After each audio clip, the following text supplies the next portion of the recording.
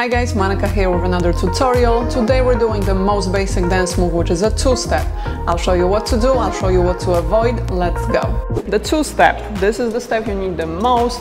You can do it by yourself or with a partner. Super basic, it works to any kind of music really. All you're going to do is you're going to open the feet and then bring them together on the snare drum. On that clap sound, the loudest beat in a song, you just lightly touch the toes and then you open the feet right away.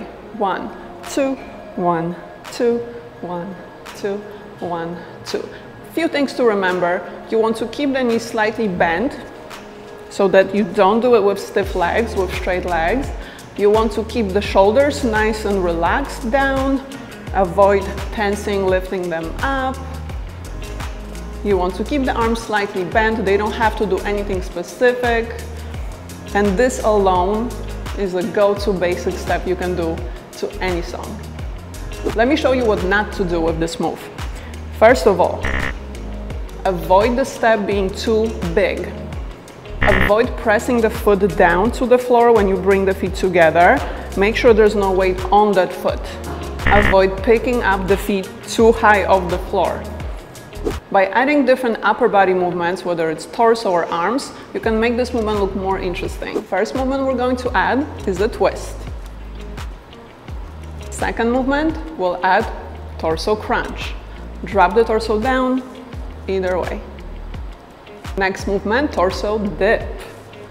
Down and up, down and up. When you open the feet, drop the torso down, straighten up when the feet are together, add the torso forward, small lean diagonally, every time your feet are together. We can also add the arms. First option, snap. Every time you hear the snare, every time the feet are together, give it a little snap. You can also bend one arm at a time. Cross and open the arms.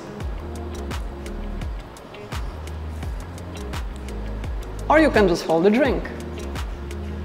If you want to check out more upper body options, I'm going to link all the tutorials I did on that below this video, so check them out.